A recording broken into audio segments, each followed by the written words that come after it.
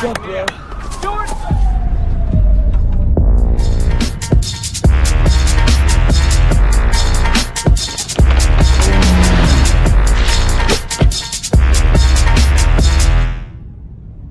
Too much for the wicks, too much for the cars, too much for the chicks, too much for the bars. When I'm on tour, I'm chilling with the stars. One one buster when it was past. Two minutes later, it's a beat thing, but that got squashed. Don't forget that line. Think you realize that I'm that kind? Oh yeah, I made the biggest rhyme through the whole time.